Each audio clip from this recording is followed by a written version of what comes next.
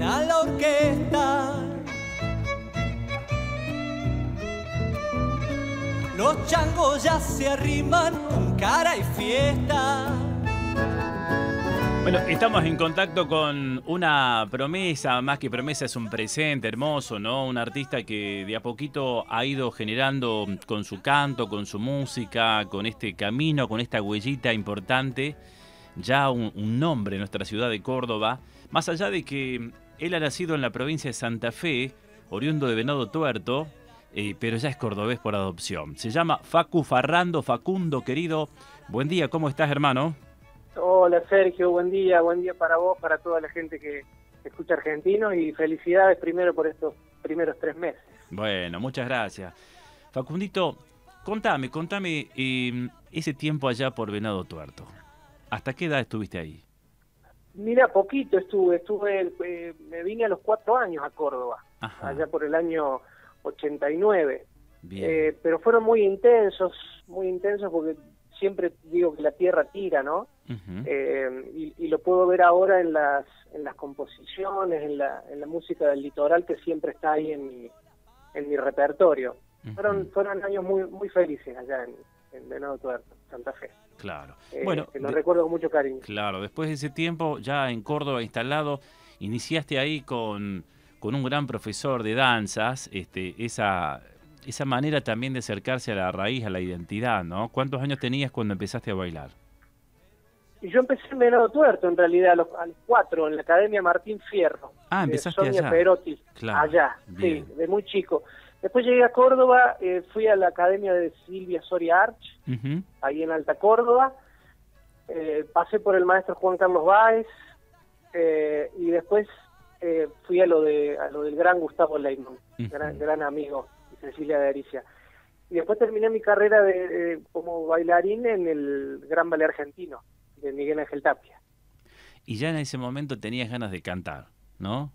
Y bueno, eh, como, como vos bien decías, una cosa fue tirando a la otra. Este, en, los concursos de, de, baile siempre había rubros de música. Y bueno, ahí estaba el inquieto siempre que quería aprender a tocar la guitarra, cantar. Y, bueno, ahí empezó el, amor verdadero también por la música, ¿no? Siempre acompañado de la danza, siempre. Eh, siempre que es fundamental. Facundo, hay una tarea también que es paralela a esto del canto y que no deja a uno de, de, decir que estás haciendo lo que te gusta porque también lo ejecutás al instrumento, cantás y sos docente, sos profesor, ¿no? Sí, sí, sí, sí, sí. Hace, hace ya varios años soy profe de música sigo perfeccionándome y, bueno, es, la, hermosa tarea de transmitir lo que amo, es, lo que yo digo, ¿no? Este, transmitir esa pasión a los chicos, a las chicas, este, en la música, en la música popular sobre todo, eh, es una forma de, estar presentes y de, y de seguir caminando, eso, eso me parece hermoso realmente, una tarea apasionante. Bueno, cuando empezás a, a desarrollar actividad musical también este, formás un grupo lindo, se llamó Clave 55. No sé si fue el primero, pero fue uno de los que estuviste ahí este, siendo parte protagonista, ¿no? Sí, hermoso, hermoso, hermosa experiencia. Yo digo que son, son todos este, pasitos que uno va dando en este camino y Clave 55 fue un, gran paso, un paso muy importante en, en mi camino. Este, nos formamos con otros tres compañeros eh, talentosísimos, un grupo, un grupo vocal con armonías muy complejas, con, bueno, con influencias de, muchas músicas. Grabamos un disco junto, junto con Suna Rocha, este, participó la querida Suna ahí en ese disco. Y bueno, después decidí este, tirarme a la pileta solo, digamos, este, como una búsqueda y en eso estamos. Claro, claro. Eh, o sea que como solista, ¿ya cuántos años llevas? Y llevo aproximadamente 6, 7 años como solista. bien. Este, ya con dos discos editados, que no es poco para un para un solista para, independiente como yo. este, es, es un gran esfuerzo, un gran esfuerzo, lo sabrán todos los músicos que sí, señor, sí, están escuchando y bueno, y vos también. Obviamente. Esto de, participar este, en Evangelio Criollo, eh, como músico y compositor, contame y contale a la gente cómo fue esa experiencia y de qué se trató ese disco, a ver. Mira, el querido Martín Oliva, este, junto con Sergio Cornacione, que eran los, productores y, los, los ideadores, digamos, de, ese trabajo, este, nos convocaron como Clave 55 eh, y trabajamos junto con grandes músicos de Córdoba, con Mary Murúa, con Pelu Mercó, Zuna también estuvo en ese proyecto. Eh, fue un, fue un disco hermoso, una experiencia hermosa, hicimos gira, hicimos presentación del disco, un disco que sacó la Universal Music, y bueno, fue hermoso, fue hermoso realmente. Eh, todos estos pasos, y, mira, cuando uno hace nota y, le van recordando lo que hizo, sí. este, sea poco, sea mucho, eh, uno siempre como, como músico, como artista está mirando para adelante, ¿no? ¿Qué hacer ahora y qué hacer mañana y qué subir en esta vorágine de las redes sociales y estar presente, pero no se detiene a ver lo que lo que hizo y eh, te, agradezco que me vayas recordando todas estas cosas porque uno por ahí dice, bueno, no, no hice tanto, pero cuando se, se para un poquito la pelota, este, te das cuenta que has hecho bastantes cosas. Sí, sí, está bueno, está bueno eso. Además, eh, mañana lo vamos a tener a Martín Oliva acá como invitado también y a contar un poquito esa, esa historia increíble, ¿no? De, de, tanto que ha hecho Martín, entre otros, bueno, me estoy enterando este también de la producción, ¿no? sí, eh, sí, sí. Participaste de un homenaje al Cuchi Leguizamón en un momento. También contame esa experiencia, Facundo. Bueno, ahí fui productor, yo ahí, fui productor artístico. Eh, lo, conocí a Mario Lucas, gran locutor y gran productor también. Eh, y le llevé la inquietud de, hacer este, este homenaje sin saber que él había sido alumno del Cuchi, este, salteño también Mario, eh, y, gran amante de la, obra del Cuchi Leguizamón. Así que me, abrió los brazos y, me llevó de la mano, este así que hicimos juntos ese, ese gran homenaje en, el Teatro del Libertador, nada más y nada menos. Yo tenía pensado una cosa más chiquita.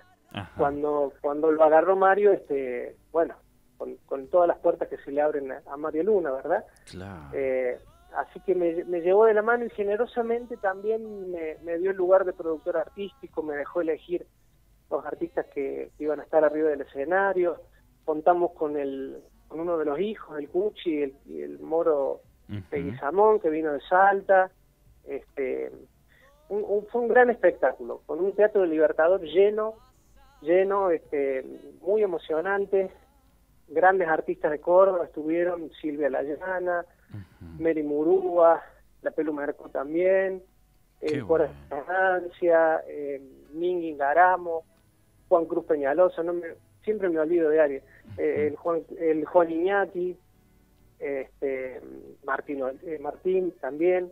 Bueno, fue, fue hermoso, fue hermoso realmente y una experiencia maravillosa. Qué lindo, ¿eh? Qué lindo, porque es una experiencia que no se olvida jamás y además semejante homenaje al Cuche Leguizamón, unos referentes, ¿no? Así que has tenido la dicha de, viajar mucho, de andar por otras naciones cantando. Eh, ¿Qué es lo que por ahí te ha sucedido como algo anecdótico interesante para contarnos? Bueno, este, estuve por Europa este, tres meses, alrededor de tres meses con el Gran Ballet Argentino. Eh, la danza me ha llevado mucho a viajar, ¿no? Y acompañado de eso la, la música. Eh, nada, tuve la posibilidad una vez de cantar, de, bailar en el Palau de la Música Catalana, que es uno de los lugares más espectaculares de, Barcelona, un teatro eh, antiquísimo y, hermoso. Y bueno, había poquito tiempo para las presentaciones, ¿no? Teníamos alrededor de unos 20 minutos por país, era un festival internacional. Eh, y el director del ballet en ese momento, Alejandro Tapia, el hijo de Miguel Ángel, tuvo la generosidad de dejarme, de dejarme cantar solo un, tango, eh, porque siempre había momentos musicales entre danza y danza para poder cambiarnos y, demás. Así que tuve la dicha de, cantar este Volver solo, eh, bueno, con, con la orquesta de músicos del ballet, para todo ese teatro maravilloso con una tecnología y, una... Bueno, el día anterior había estado Montserrat Caballé cantando ahí, o, sea, e, es, esas experiencias este, maravillosas, ¿no? Este, que, te da la música, que te da la danza. Por eso yo siempre eh, en mis en mis actividades musicales nunca puedo separar la danza porque es lo que me ha llevado a estar a donde, estoy. Claro, claro. E, es hermoso porque además uno ahí va, va sumando este sentimiento este, por, por el folclore, por la música, te vas involucrando. De pronto, eh, al bailar también comprendes otras situaciones que hacen a que tu repertorio llegue de un modo muy particular también en la elección de los temas, ¿no? Contame la experiencia de, de compartir un momento con el Chango Farías Gómez. Uy, eso fue, eso fue impresionante también. Eso fue hermoso. Eh, el Chango lo conocí eh, en situación de, asado, de, guitarreada.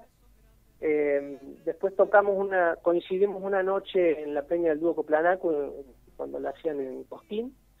Eh, tocamos primero con clave 55 y después tocábamos con Martín Oliva. Yo, yo era músico de Martín. Y el Chango, gran amigo de Martín de muchos años, subió a, a tocar y yo le ofrecí mi guitarra. Este, porque gran guitarrista, gran músico en general, pero el Chango, este, gran guitarrista. Y el Chango tocó el bombo, vos sabés. Entonces a mí me dio una vergüenza porque yo soy guitarrero, este, no, lo rasco nomás, me acompaño. Pero este, fue una experiencia maravillosa y después este, después nos juntamos a tocar este, y me decía, lo tenés escuchado al disco, nene, porque yo tocaba los arreglos exactamente igual que como sonaban en el, en el último disco que, se había sacado, que era Tango sin arreglo.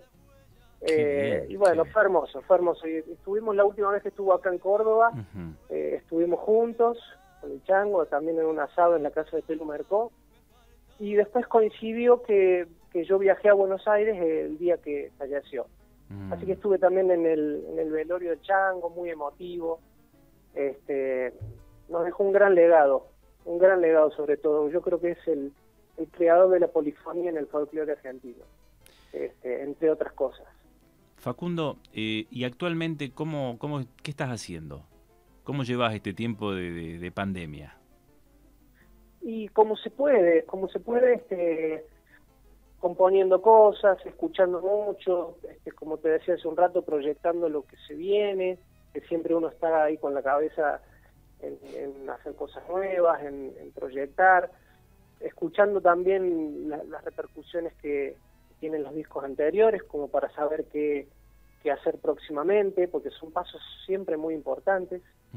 Eh, los discos este, los pude subir a, distintas plataformas digitales ahora, o sea que todo el mundo los puede escuchar por Spotify o por las plataformas digitales que tengan.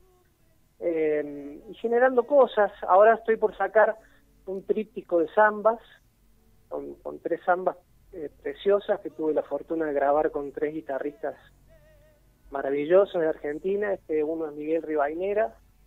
Gran violero, gran violero, el otro es Juan Pinoriega, y en febrero tuve la fortuna de grabar con el gran Juan Falú.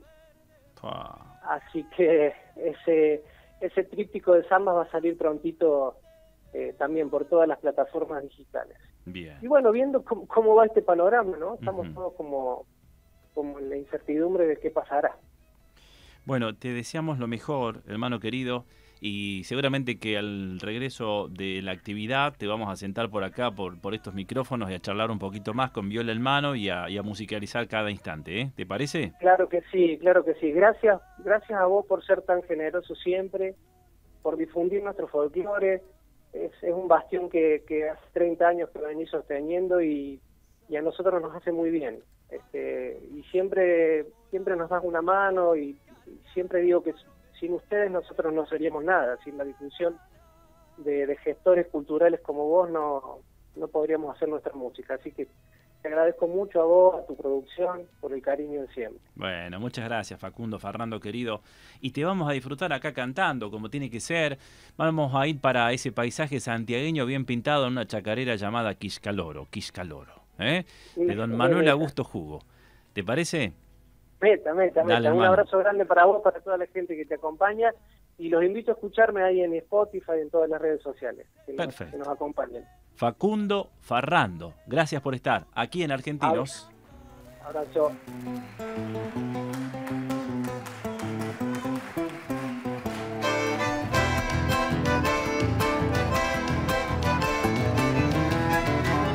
Para juntar quiscaloros una vieja me invitó.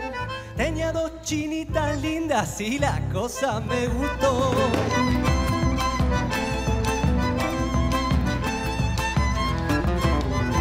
Agarramos a la siesta con rumbo que ya nos dio las tres.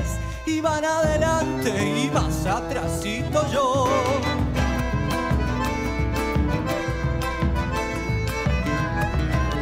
Vieja llena de malicia cuando una se le quedó.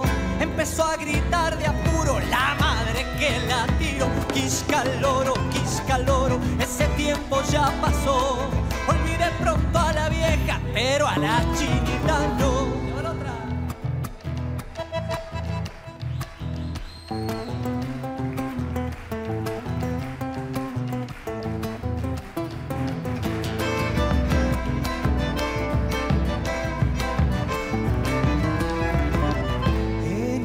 baila de fierro para rope preparó.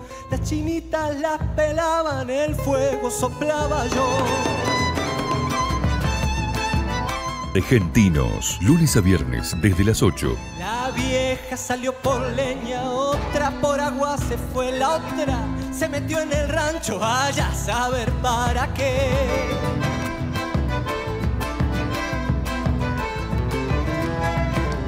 La vieja muy advertida a las dos la castigó y después una por una me las consolaba yo.